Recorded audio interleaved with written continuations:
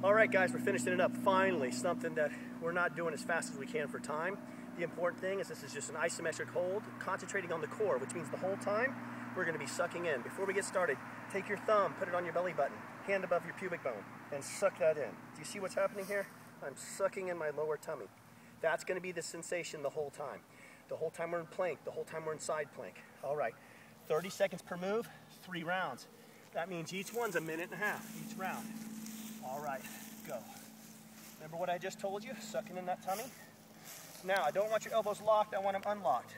I want your butt slightly above. I don't want it sagging in. Slightly above, sucking your tummy in. The whole time, you're concentrating on sucking your stomach in. Now, I don't care whether you go to left plank or right plank first, but I will tell you a few things that are going to be important to me. First thing is when we turn sideways, your feet need to be stacked on top of each other. All right, turn. Plant your left arm. Look at the way my feet are stacked on top of each other. I'm not sagging in the middle, I'm staying up. And again, my tummy is sucked in. You guys want to go up a notch? Here you go. This is also a good side balance pose here. Either one of those is fine with me. Keep your tummy sucked in. Straight up. Other side. Stack both feet. It may hurt your wrist a little bit. Guys, if it hurts your wrist, you may want to get one of those perfect push-up bars. Or you may want to make a fist. And keep that ugh, in good alignment. Remember, this is going to be advanced. Keeping your tummy sucked in, right? This is also fine. Is your tummy still sucked in? One round done. Fitness is not just about movement. Isometric hold, being able to conduct your core, maintaining midline stabilization, it's important stuff. Feel that burn, guys. Concentrate on holding your stomach in. Yes, my shoulders are burning too. It's okay. All right.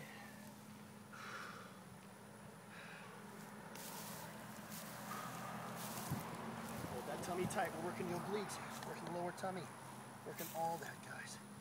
Yeah, even the glutes, the shoulders, the upper carriage are working. 15 seconds. That's good stuff. Look at how you can sweat doing this. The same way we were sweating doing those dynamic exercises. We can sweat doing this. Other side. Post that right arm. Left arm up. We're in a straight line.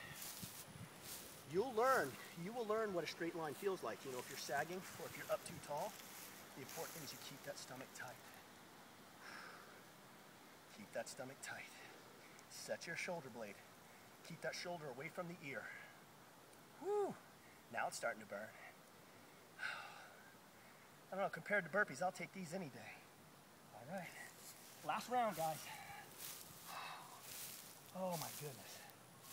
Can you feel those shoulders burning? Keep that tummy in and up. That butt is in and up. Don't let it sag. Finish the workout. This is it for today, guys. Whew. Got the little mod. Taking a little pressure off. Looking good.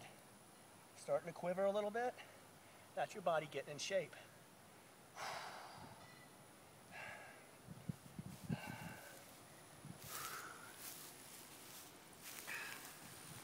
I know you may not feel this in your core because your shoulders are barking so bad, but I promise you guys, everything from your foot to your palm is working. 45 seconds and you're done with my workout. It's a good feeling, guys. Mm.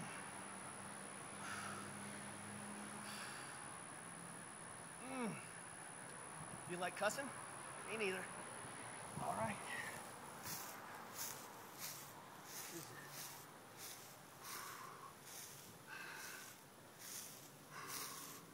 Seconds. Here's where I'm having to push myself too, guys. Wanting to give up, falling all over the place, slipping and sliding. It's just fatigue. You're stronger than that. 10 seconds. Do not go down at this point. If you're down, come back up. Suck it up for five, four, three, two, one. Wow.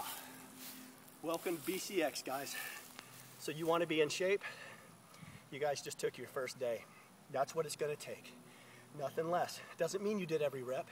Doesn't mean that you did every single mission that we did today. But the important thing is you just finished day one. If you stay at it, then you're not a quitter. As long as you don't quit, you didn't fail.